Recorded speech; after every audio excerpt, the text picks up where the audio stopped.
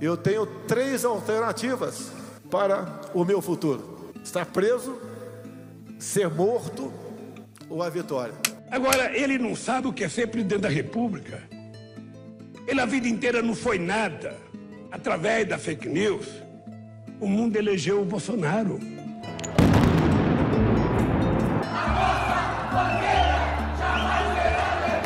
O que é que nestes quatro anos o Brasil mudou?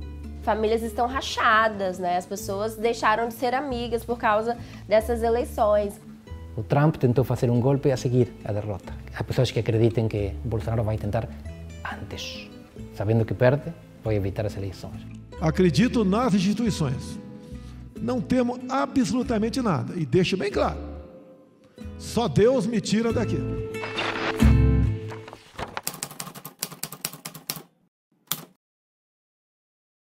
Mais da metade da população brasileira vive com algum grau de insegurança alimentar. O dado é quase inacreditável. Em pleno ano de eleições, o Brasil já registra mais de 100 casos de violência contra políticos. A política vira assunto de polícia e ameaça à democracia no Brasil.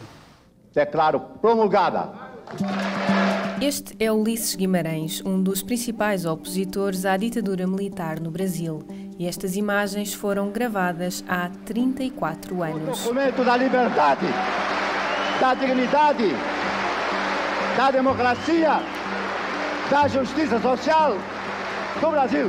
Que Deus nos ajude que isto se cumpra. A democracia no Brasil, como a conhecemos, é recente.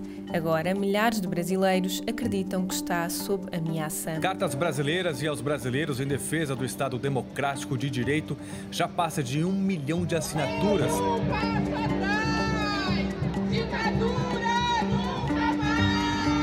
O Brasil que vai para as eleições agora em outubro é um Brasil extremamente violentado. Está difícil viver no Brasil.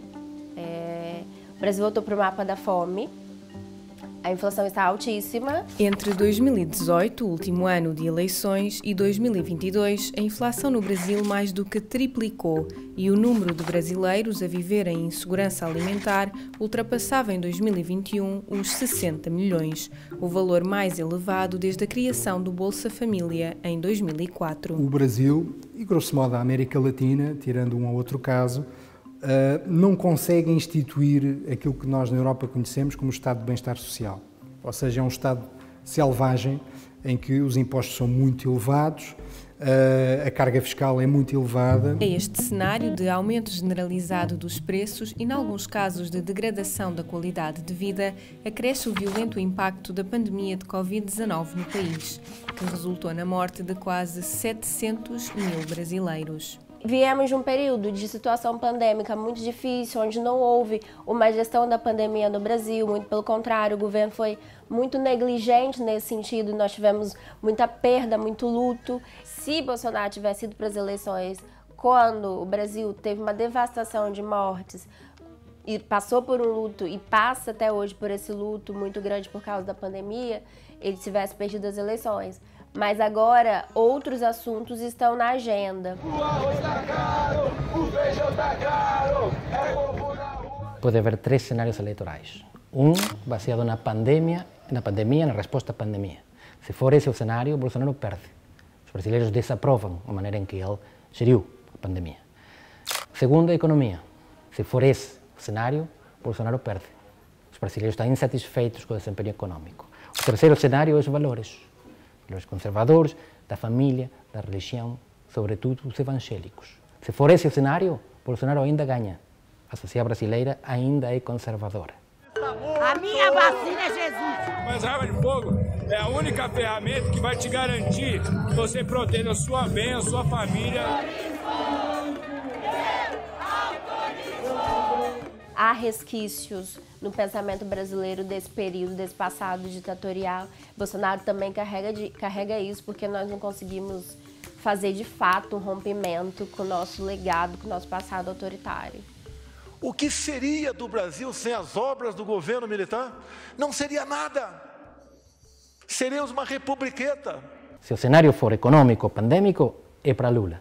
Se for valorativo, é para Bolsonaro. Então não há mais candidatos às presidenciais do Brasil? Sim, há alternativas, mas nesta corrida eleitoral a meta só está ao alcance de dois candidatos. E a culpa é da polarização. Uma polarização. Uma polarização. A polarização do cenário eleitoral. Não, o Lula é a única opção contra o Bolsonaro. E o Bolsonaro é a única opção contra o Lula. Imagine a pandemia com o Lula presidente da República. Se roubaram, e muito, né, alguns governadores, alguns prefeitos, é, com esse recurso, imagina se o PT tivesse no governo. Eu vou tomar minha vacina e quero fazer propaganda para o povo brasileiro. Não siga nenhuma decisão imbecil do presidente da República. No Brasil, a polarização é produzida pelas elites, está estudado. Não é um problema de que etnicamente ou religiosamente a sociedade está segregada. Uma polarização induzida. A polarização ela também é artificial deste ponto de vista. O Brasil tem um sistema político e eleitoral muito fragmentado. Nenhum, nunca nenhum partido tem maioria uh, na Câmara dos Deputados ou no Senado. E, portanto, existe sempre uma necessidade de negociação. A capa do jornal é Lula versus Bolsonaro. No Congresso brasileiro, que é o parlamento deles, o que vemos é 26 partidos políticos.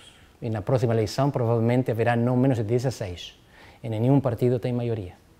Então vamos ter este fenómeno de coexistência permanente entre o dogmatismo da polarização e o pragmatismo da fragmentação. E isto faz do, do Brasil um país extremamente complexo para governar e para perceber.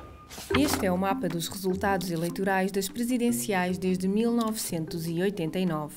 Até 2005, o presidente eleito vencia em quase todos os estados, mas esse ano marca uma viragem, o início da divisão territorial dos votos.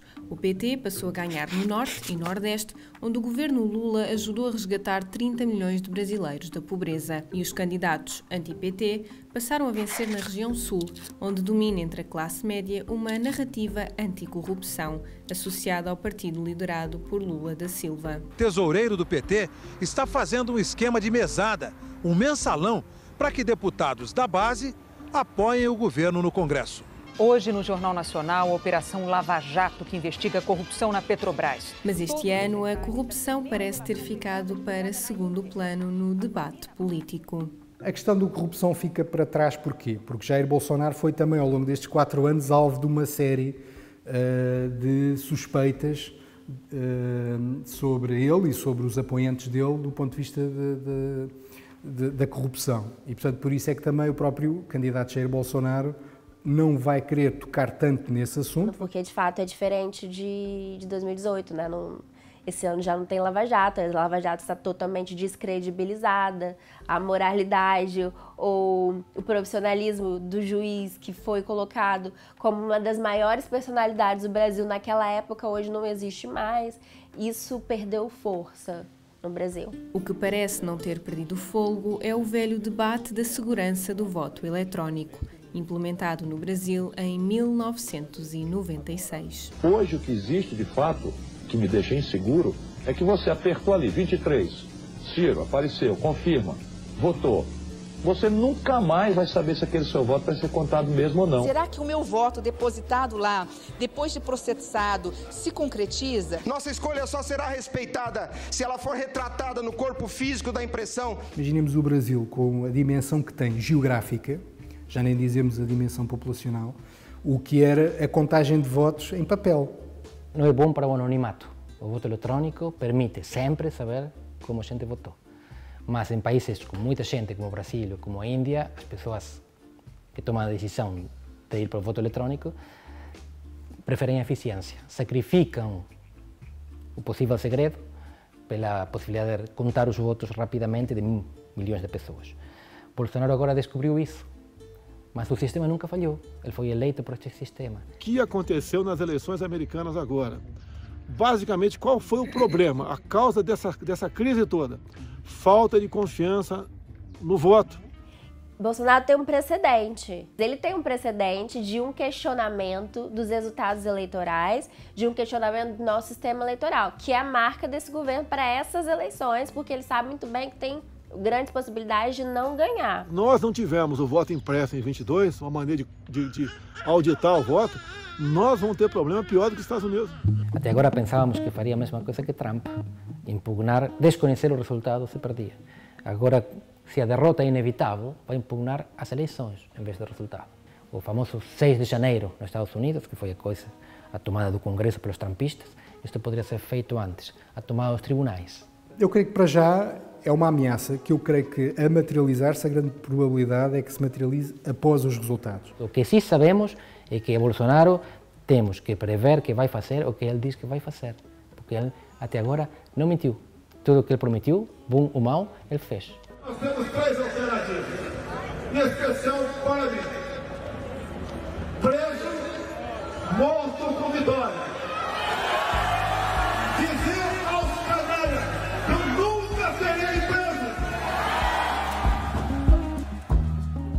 pelo menos voltar a, a considerar o diálogo, a considerar a democracia, porque é só através da democracia que nós vamos conseguir eliminar e mudar mazelas sociais, e aí sim mudar a desigualdade, assim conversar sobre as diferenças e conciliar e, e, e pensar aqui em formas de trazer um Brasil melhor para todo mundo, mudar e trazer mudanças para todo mundo. O Brasil amor e paz é muito difícil que volte. É, saiu, o demônio saiu da caixa, não se pode voltar a meter.